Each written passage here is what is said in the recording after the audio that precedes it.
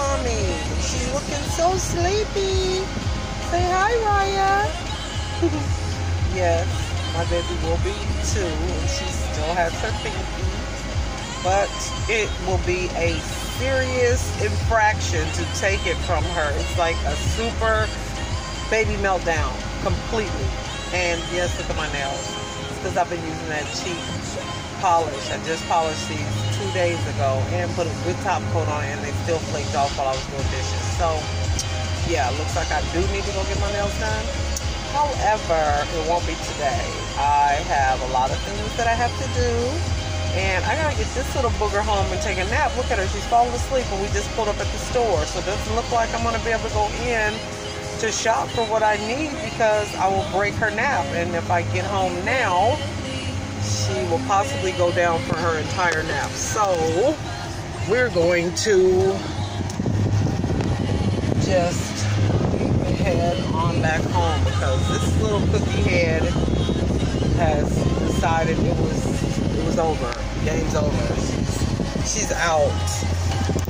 But I wanted to say thank you to all of my Team Jax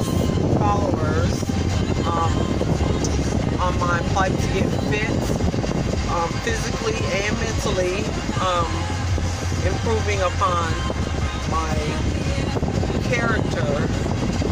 Uh, because we all know that we say we're going to be eating a certain way and doing certain things, and then we we don't do them, and sometimes we say we did. So um, it's my everyday commitment to send or to post pictures or video of my activity to show that I am sticking with my commitment to self. Um, and I want to tell you guys that I appreciate all the likes and all the encouragement and for just the followers, for just joining me and watching what I'm doing. I am feeling good. I think I'm looking good. But I just want to thank everyone that's a part of the Team Jax gym life. Um, I can't say enough about the fact that I have learned so much um, just about nutrition throughout this whole ordeal and what the body needs versus what the body does not necessarily need. Um, carbohydrates are never needed in your diet, but we love them. They're so tasty. And I'm not gonna lie, I still eat what I want to eat. Often, I just eat a lot less of it. Like I would normally eat like a whole bag of chips, um, like the big bag, not the huge bag, the family size, but just you know like the dollar bag. And I would just eat it all, along with some other junk food and some soda. So now I don't do that. And my chips of choice are pork rinds. Um, they're low. They have they're low fat, have no carbs, and it's a salty snack. So you just have to kind of you have to kind of play with your diet, best for your nutrition, your age, what your body needs.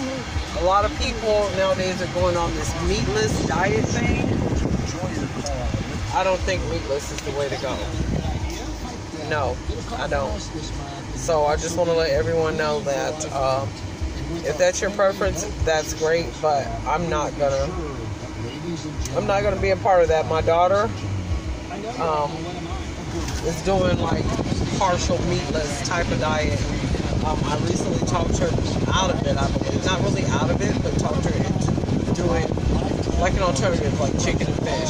So